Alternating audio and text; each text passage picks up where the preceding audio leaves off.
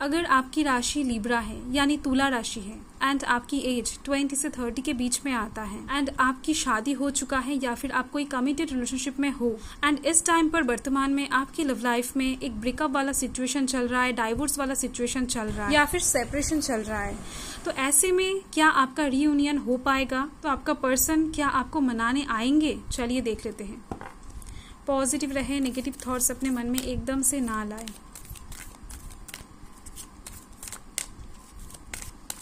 देख लेते हैं कि एंजल्स क्या आंसर देते हैं इस बारे में। तो यहाँ पर है let go sorry to say but ना आने की चांसेस यहाँ पर ज़्यादा दिख रही है। एंजल्स लेट गो करने के लिए बता रहे हैं। ओके बॉटम द डेक देख लेते हैं। बॉटम द डेक में है इफ़ यू बिलीव कुछ चीज़ें आपके विश्वास के ऊपर भी बना रहेगा। अगर आप सच्चे दिल से विश्वास करते हो कि वो इंसान आपकी लाइफ में आएँगे तो डेफिनेटली आपका मैनिफेस्टेशन रंग लाने वाला है। अगर आप नेगेटिव माइंडेड रहोगे तो डेफिनेटली नेगेटिव आंसर ही आपके हाथ लगने वाला है। कुछ क्लैरिफिकेशन देख लेते हैं।